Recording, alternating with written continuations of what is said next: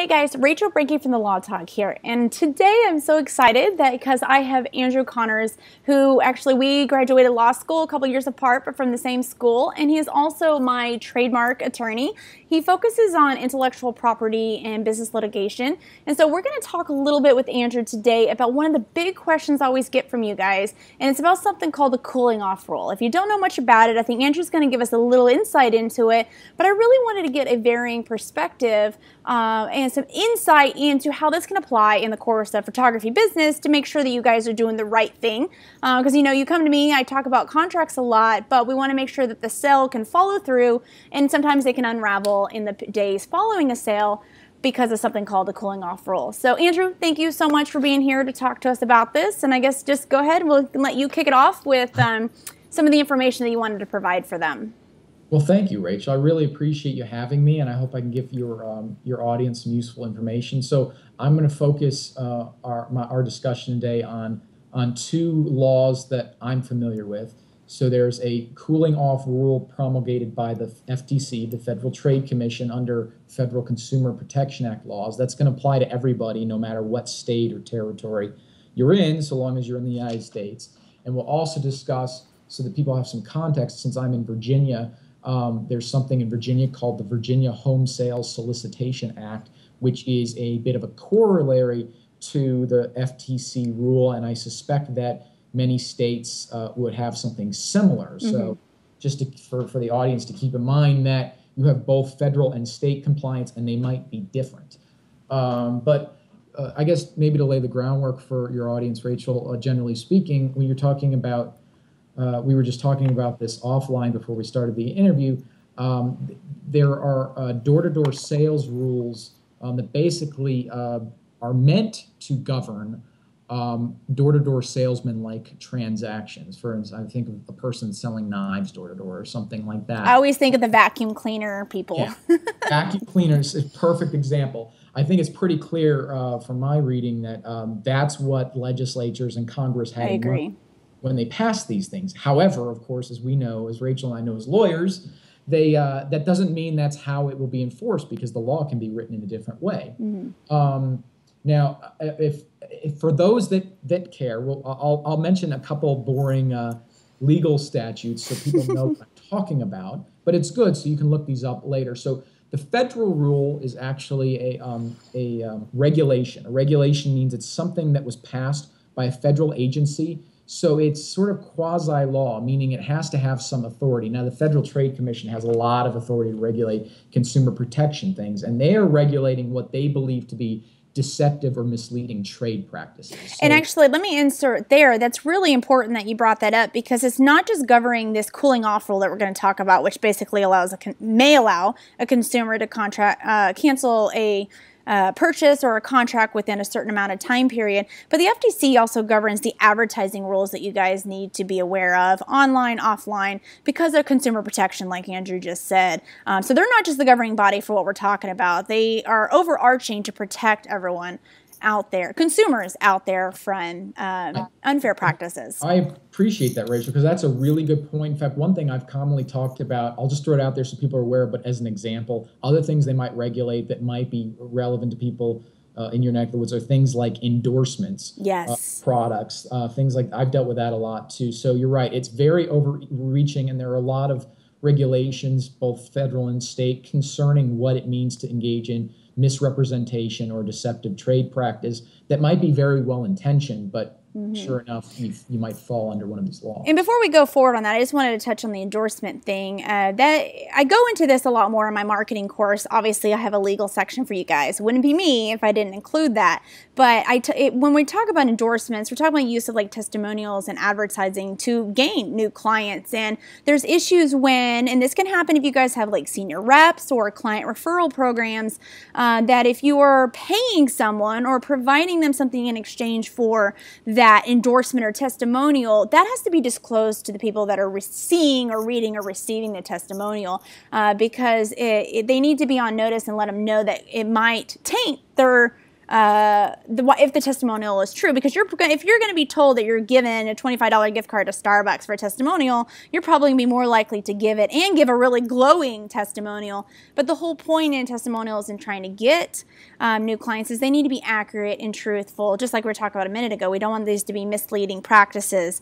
Uh, so that's just a little tidbit I want to throw out there for you guys. If you have any more information on that, that's outside the scope what we're going to bring. Uh, but Marketing Madness has that, and there's also some articles up on the blog. So Andrew, sorry about that. No, no, no. In fact, I suspect it's something. Just so you know, I suspect it's something I'll blog about too. We got a little blog. Yes. Oh, yes. I'm glad you brought that up. I'm going to link Andrew's information for you guys. Um, he is the person that I go to if I have any questions as far as um, really in depth intellectual property, uh, trademarks. Like I said, he's my trademark lawyer. He did all the trademarks for me. Um, his blog is a great resource uh, as well. Oh, thank you. Um, but I suppose we should shift over. So I guess yep. back to the door-to-door sales. Yeah, sorry about that. oh no, it's all right. Um, so um, the, the, I was mentioning code section. So the federal code section is, a, a, like I said, it's a regulation, meaning that um, if you really wanted to get into it, there might be some legal argument out there that this is not a lawful regulation. But let's assume it is. It probably is, and um, that's at um, it's Title 16 of the Code of Federal Regulations, Section 429 and that defines what uh, type of sales they're going to deal in. Mm-hmm. And uh, I'm not going to read out every, the text is long and boring, and you hire people like me to make it a little less.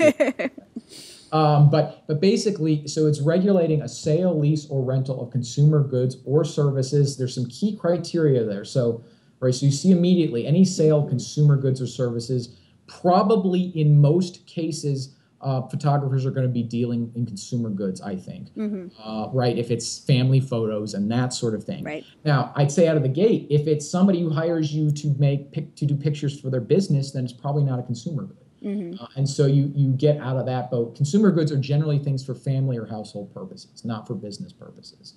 Um, so that's sort of one key point. It's got to be over twenty five dollars. I presume uh, most photographers majority yes. over twenty five dollars. Mm-hmm. So that's probably not going to be a way out. Um, could be many or, or many contracts or one contract.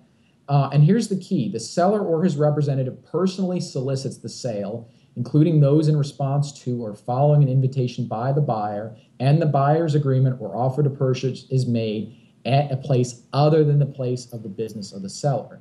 Now we'll get more into it, but um, if you don't have a fixed location, and Rachel advised me that, and I know that's too, I've worked with photographers, that is very common. The photographers work out of their home, and many businesses work out of their homes. So um, that is going to put you more under the purview of this sort of act. Um, you're going to be regulated. Now, there's a list of exceptions, and there's a long list. I want to focus in on a couple that I think will give photographers uh, some respite. And, and generally speaking, um, generally speaking, my opinion is that photographers can probably generally be exempt from this. And the reason why you want to be exempt from this is that um, so you'll have the, the, whole point is if, if you are falling under this, the federal act requires you to do two things. It requires you to notify people of a right to cancellation, mm-hmm. give them a cancellation form, and then they have three days to cancel uh, cancel it. Um, I think there's some basically it's tricky because if they purchased a product from you, a tangible good, they have to return it. The problem is, is you're not photographers are not probably producing a tangible good, at least not at first. You know, eventually the photographs come later, so you probably if if you are under this, you're going to mm-hmm. be out of luck when they say, "Give me my money back." Mm-hmm. Um, so that's a big thing. But the exemptions, I think, are important. So there are a few different um, exemptions. The first one that is important to note is if you have prior negotiations in the course of a visit by the buyer to a retail business establishment having a fixed permanent location where the goods or services are offered.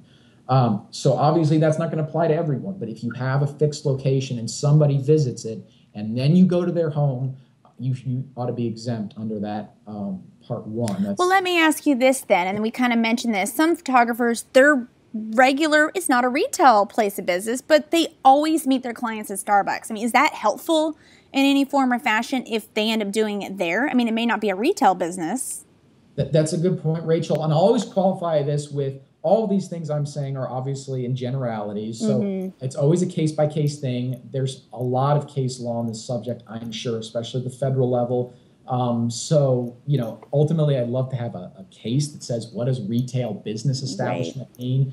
But my impression is that retail business establishment means a fixed, traditional, Agreed. commercially zoned right location, not a house. That's the reason why you're saying that. Mhm. Otherwise, you wouldn't say that term to begin with. Right? Mm-hmm. Um, so yeah, I, I think so. So I, I think um, now when we get, I'll keep it split up. But if you get into something like Virginia's law, Virginia's law is actually much more um, protective of the business person.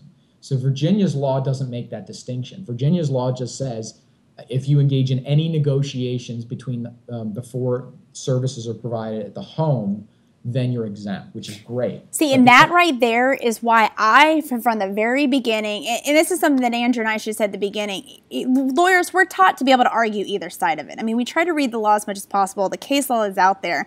But for me, I really think, based on what Andrew just said, and that's Virginia state law, every state law may be um, a little different.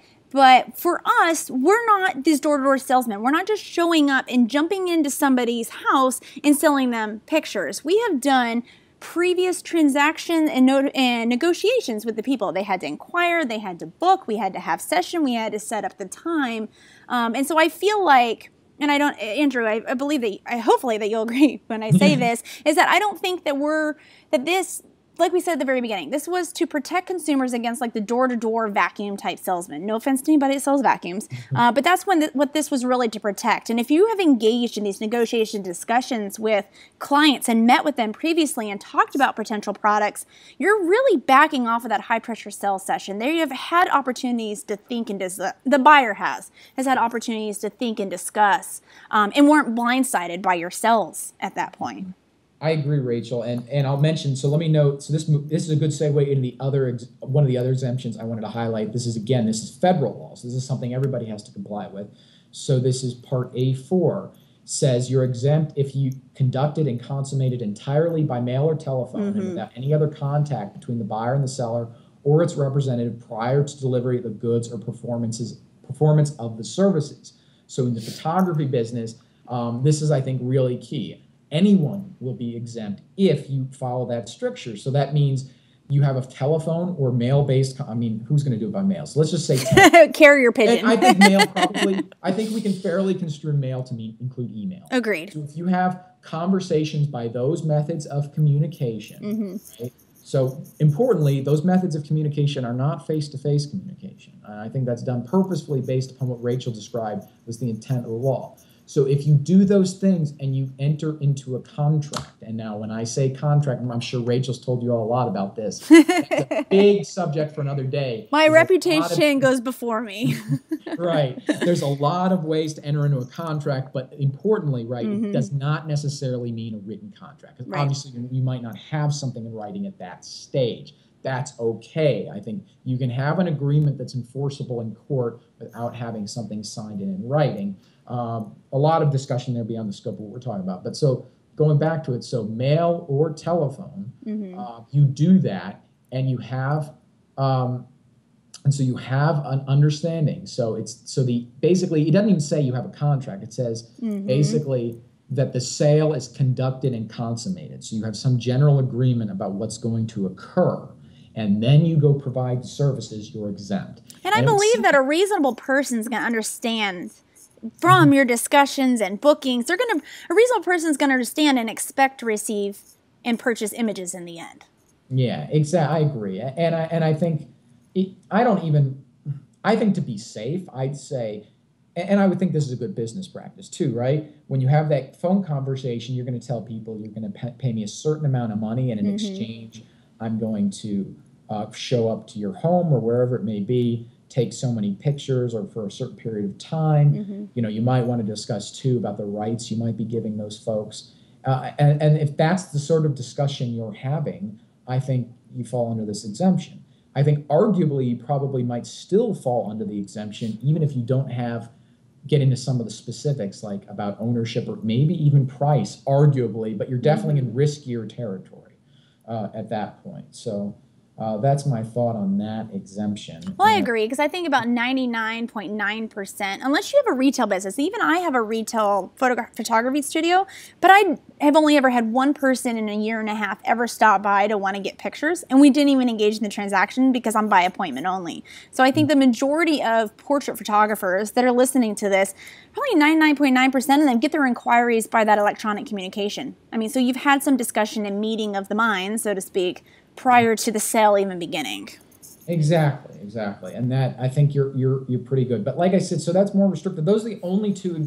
There are other exemptions, mm. but they they're not going. They're, they're they're things like there's one exemption, for instance, about uh, purchases of products made for emergency purposes, which are obviously not going to apply to photographers. So uh, I, I've highlighted the two. So those were parts one and four of, of that section I mentioned before, six Title 16 of Code of Federal Regulations, Section 429, Part A, Part 1, and Part 4, if you are so inclined to look them up. And I think that covers what you're obligated to do under federal law. Um, but I don't know. Uh, I mean, I, I transition if, if you like, uh, Rachel, yeah, I'm discuss yes. Uh, Virginia law. I highlighted. I'll mention. It's very. I'm glad, Rachel, you mentioned. Uh, you know, obviously, every state's law or jurisdiction, there are U.S. territories as well, are, are going to be different. Um, so what I say, what Rachel and I discussed, may not be applicable to you in your state, and you know, uh, we can figure out if it is. That said, uh, generally speaking, uh, I would probably say most or all states have a law similar to. I agree. Discuss. Yeah. Um, and generally speaking, and this is one I have. Okay, I now I I don't I've never personally litigated this particular act. It's called the let me make sure I get it right, the Virginia Home Solicitation Sales Act. However, it is tied to something called the Virginia Consumer Protection Act, which any business litigator has probably litigated in Virginia. And there's the corollary act, I'm sure, in probably every state. Mm-hmm. Um, and and they're, they are, we're learning new ones every day. So the Virginia Consumer Protection Act has a list of something like 30 things expressly in that act that might violate it, and it's a lot of stuff. And then they have what they do is they have other acts that basically say, here's another thing we're going to police, and if you violate it, you will be punished as if you had violated the Virginia Consumer Protection. Oh my goodness! uh, so that's what this, this, that's what this act does. Um, and so it's interesting. Uh, when Rachel asked me about this, I looked this up, and sure enough, I found this one. Um, and, and, it was right there. They have a they have a laundry list. Here, this it basically says here are these other code sections that the Consumer Protection Act might apply to. So the Home Solicitation Sales Act has a similar definition to a home solicitation sale, um, but it's like I said, it's it's much more protective. I can tell of business persons. That surprises me actually to know that Virginia protects the business a little bit more than the consumer. Hmm. I guess you know that it's a good point. It depends what the business is. It seems it mm-hmm. depends what the. I'll be cynical about it. It probably depends upon what uh, particular lobbyist was in whatever yes ear at the time. So it, you know it.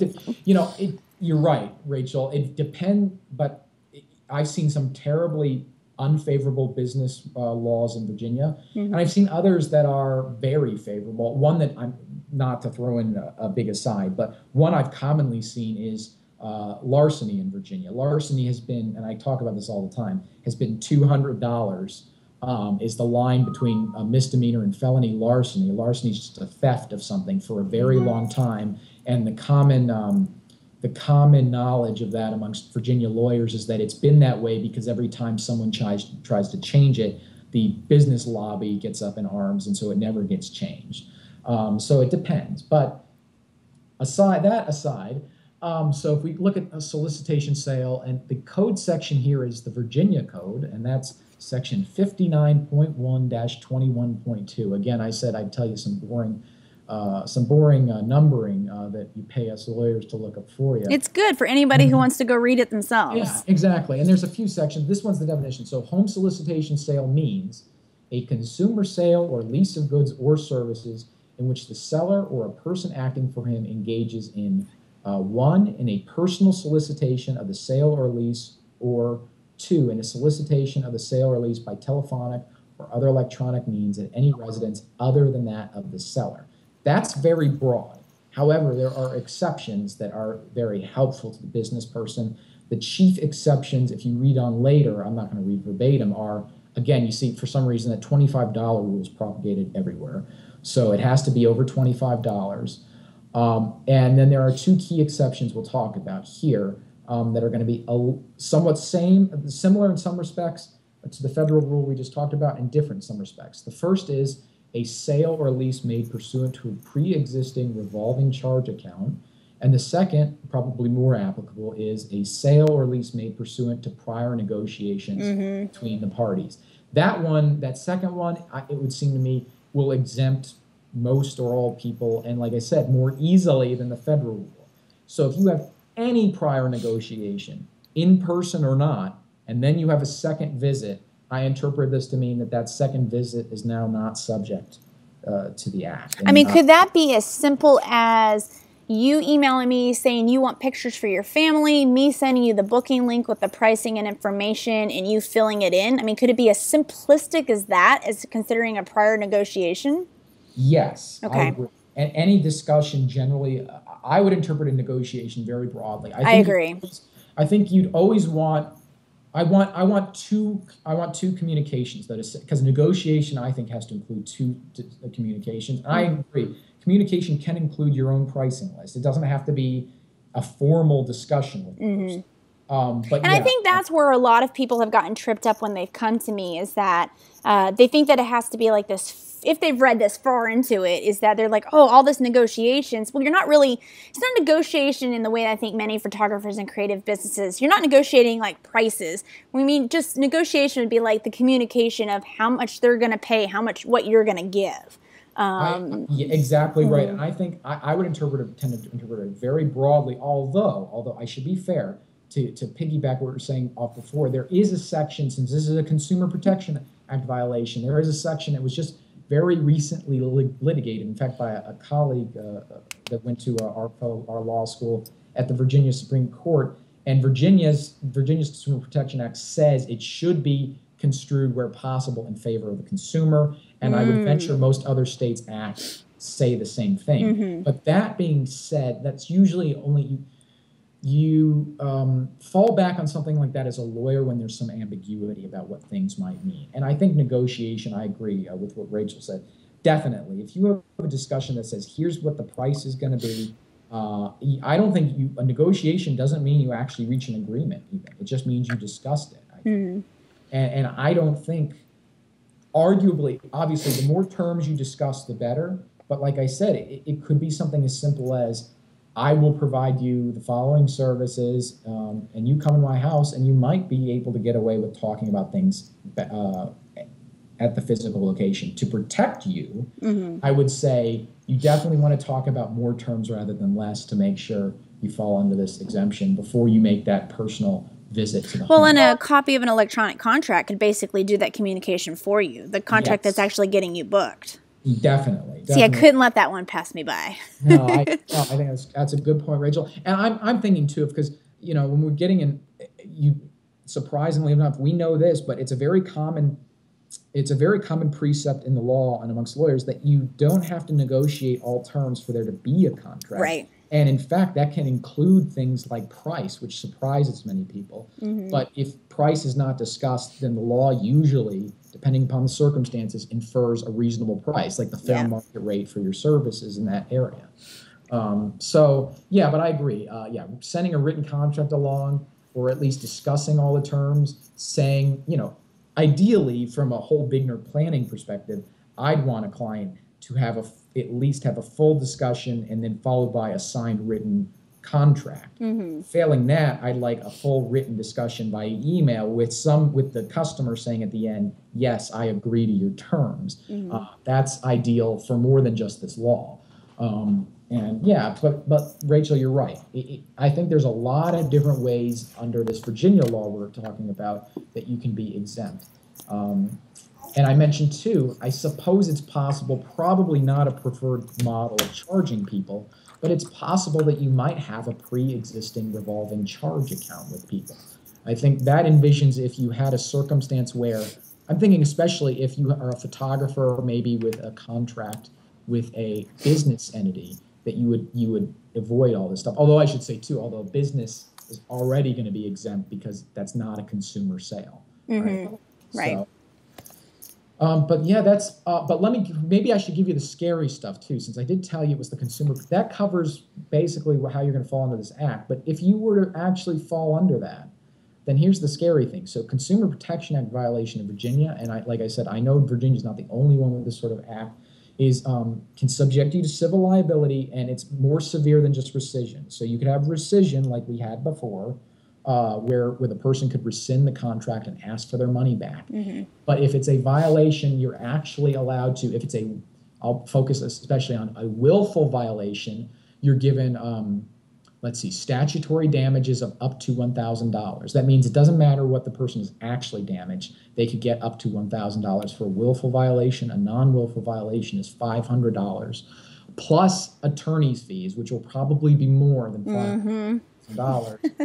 plus now that I told you the statutory, if the actual damage exceeds that, now I could think of some harebrained scheme, but let's just suppose somebody says, you know, I lost and can plausibly say I lost five thousand dollars because of the because of your scam, which is what they're basically saying if you fall into this act.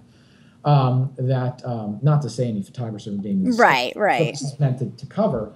So let's suppose you lost you know, they say I lost five thousand dollars, and they'd have to explain how that is, and there's a lot of caveats to that. But if that's true, if it's willful, if you willfully violate this act, uh, Virginia multiplies it by three, so five thousand. Wow.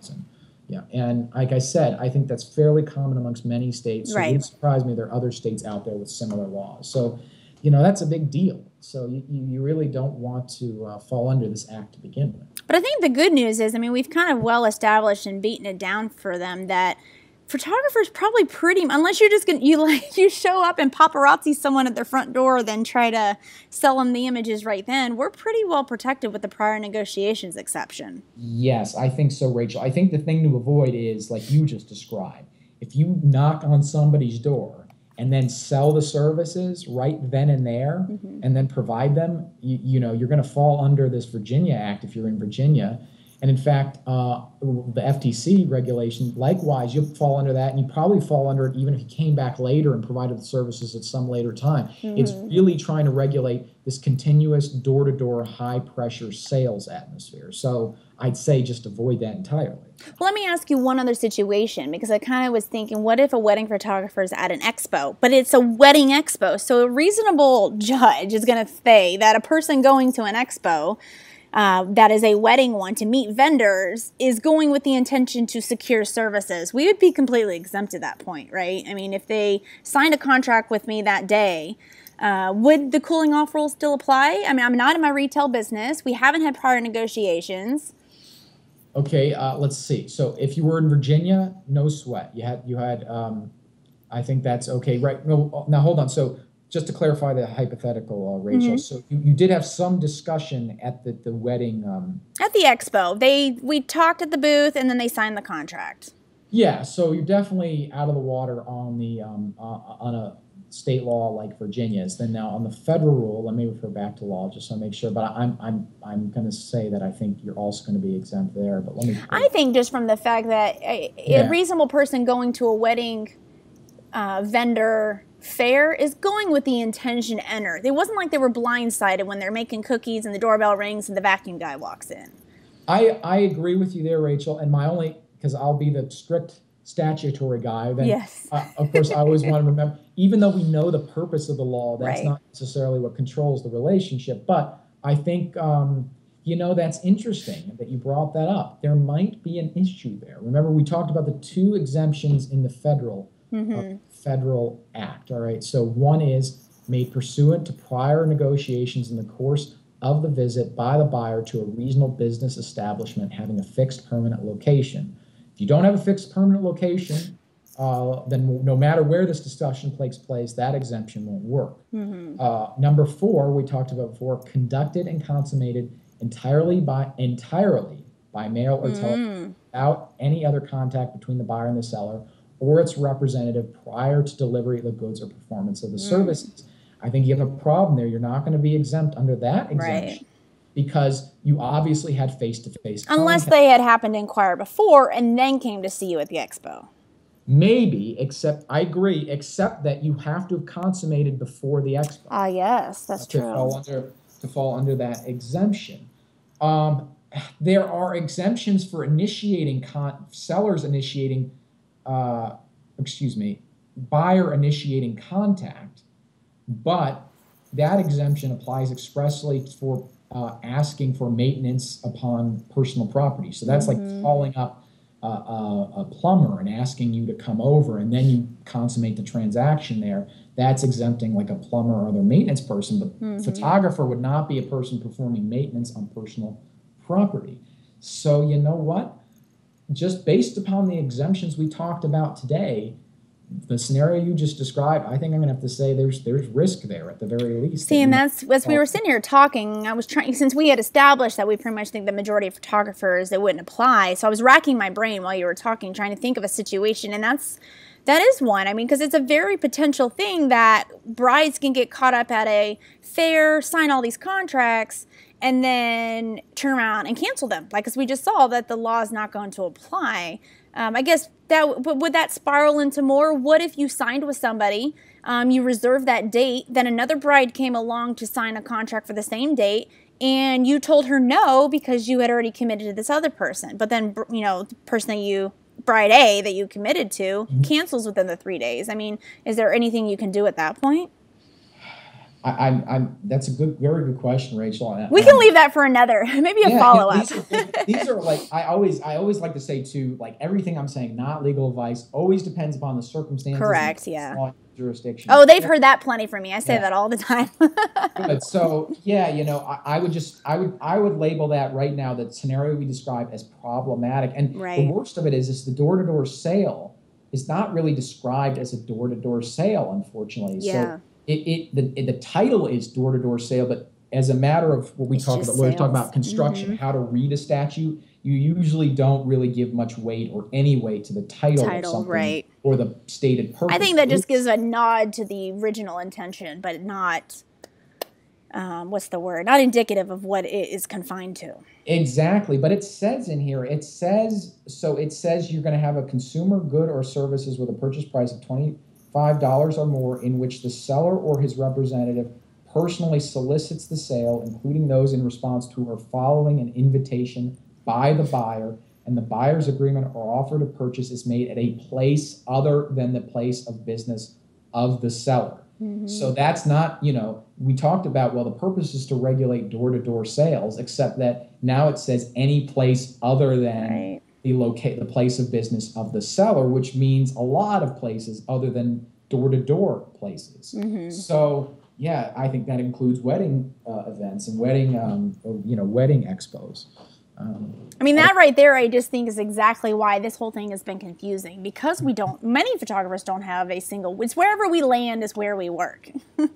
you know, I, I would say, you know, get get some good counsel from Rachel. Obviously, you know, somebody like me, but not. Yeah, say if I can't answer, I send everyone to Andrew. So, yeah, but but you know what though is the issue is you're going to have other regulatory burdens if, if you if you fall under it then you you know the federal law regulation requires you like we said before to have a written cancellation form that you Right. supply to these people and that you basically advise them of their right to cancel.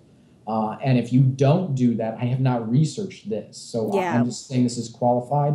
But it would wouldn't surprise me if there if there's not just the rescission, but there are other. Usually, there are civil penalties involved with FTC violations. In other words, the attorney general or somebody acting from the Justice Department could conceivably fine you, uh, and I would suspect, but I'm not sure that that's in here. Um, so uh, I'll just throw that out there too. That that then there's going to be other compliance beyond the fact that whenever you deal with a federal law, you're just going to have a bunch of compliance that you I try to plan my clients around, so you don't mm-hmm. have to comply. Because usually it's going to be kind of burdensome. It's usually how it goes. So. Yeah, but that I think that delves a lot in that issue. But that's a good hypothetical, Rachel. I'm sure we could think of others that would be. I mean, I could sit here and come up with hypotheticals all day. Yeah, So, okay, well, I think we pretty well covered it. I mean, I uh, my, the biggest thing for bringing this to you guys is to make sure that we're following the letter of the law. I've had a lot of questions, a lot of people proposing different situations, but the, the way that Andrew outlined it, and I just kind of wanted to bring him in since he's the individual that litigates this sort of stuff. I try to help you guys prevent it, but if you ever get to something, he's the one that does litigation. It's really good to have another perspective for y'all to kind of get this uh, two sided, which we ended up agreeing on the majority of this, which actually makes me feel real good that I kind of have a well, little. Rachel's got a very good head about it. a little little seal of approval, but I think that's fantastic. Uh, but yeah, definitely, if you guys, if especially if you're in the Virginia area, if you have any questions or anything as far as a client issue, Andrew's the one that I would send to. If you guys have any other questions about the, this cooling off rule, um, in federal it's three days, correct, Andrew? Seventy-two yeah, hours. three days, and the state Virginia law we are talking is also three days, and so. Uh, the federal law only came into existence, I believe, in 2009. So I think the federal law is modeled after some states' law. Mm-hmm. So I mm-hmm. bet you it's three days in most. Or I've seen a couple states that were two days, but not very many. The majority were pretty much in line with the with the three days. Uh, but if you guys have any questions, uh, you can stick it into the comments below. Um, I'm also going to link, like I said, Andrew's website uh, lots of information. Um, you guys could reach out there to get some more, and I'm sure that we could always do a follow up if there's enough questions. Yeah, well. I'd love to. Whatever you, you only, I, I love uh, talking to Rachel and, and, answering your questions. And this is the sort of stuff. In fact, we have. I, will have to give a shameless plug. We have a go for a, it. A new office in Richmond. and, do you? Uh, yes, we have two attorneys there, and uh, they're they're both uh, women, not to be sexist, but uh, one of them in particular is very keyed into uh, uh, the wedding industry and photography Perfect. in and around Richmond. And so this is sort of becoming a niche practice for us, especially in the Richmond area. Awesome. Mm-hmm. Cool. That just like opened the world for me because Blacksburg's a little far for me to go, but Richmond's yeah. uh, Richmond's even closer. Manassas, right? Yeah. Very cool. All right, awesome. Well, Andrew, thank you so much for everything. Again, guys, if you have any questions, stick them in the comments, shoot them to me, or you can shoot them to Andrew. And I hope that this has helped you guys be able to clear the air, know that you're pretty well covered. Um, that when people make that sale, that's it. Final sale, they know it's done.